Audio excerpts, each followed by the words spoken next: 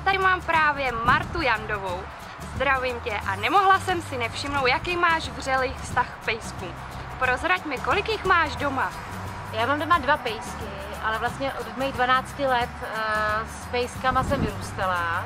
Předtím to byly kočičky, ale ty byly víceméně jenom na prázdniny. Um, pejsek patří k mému životu, já si to nedokážu představit, že bych pejska neměla. Je teda fakt, když třeba zůstanou na den na chatě a my jsme s manželem a s malou v Praze a je jednou večer a my je nemusíme venčit, tak je to taky příjemný, ale jinak bez nich to prostě nejde. Oni jsou radost, a, ale i se o jednoho postarají. Třeba Maruška je nemocná a Kašpárek včera, več, včera v noci ležel u její postele, když jsem jí šla pro léky.